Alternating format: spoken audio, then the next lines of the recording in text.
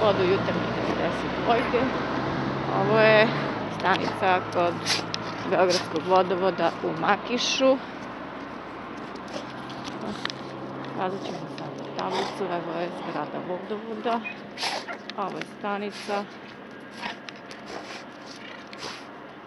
Ovo je bila jutarnja 92. gradskog saobraćenog prevoznika.